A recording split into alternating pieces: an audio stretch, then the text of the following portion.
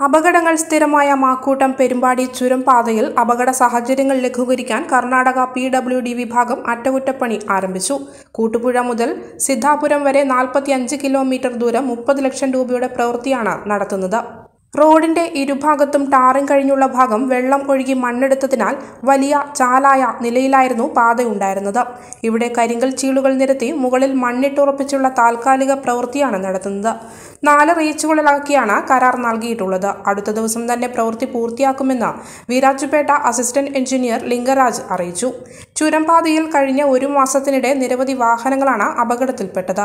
കൂട്ടുപുഴ മുതൽ പെരുമ്പാടി വരെയുള്ള ഇരുപത് കിലോമീറ്റർ ഭാഗമാണ് തലശ്ശേരി കുടക് സംസ്ഥാനാന്തര പാതയുടെ ഭാഗമായി ഉള്ളതെങ്കിലും സിദ്ധാപുരം വരെ ഒരുമിച്ചാണ് കർണാടക പൊതുമരാമത്ത് വിഭാഗം അറ്റകുറ്റപ്പണി നടത്തുന്നത്.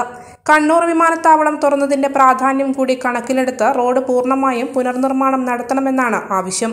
കൂട്ടുപുഴ മുതൽ പെരുമ്പാടി വരെ വനത്തിനുള്ളിലൂടെയാണ് ചുരം പാത പതിനാറ് കോടും വളവുകളുമുണ്ട്. രണ്ടായിരത്തി പതിനേഴിലും രണ്ടായിരത്തി പതിനെട്ടിലും ഉണ്ടായ പ്രളയങ്ങളിലാണ് റോഡ് ഏറ്റവും കൂടുതൽ തകർന്നത്.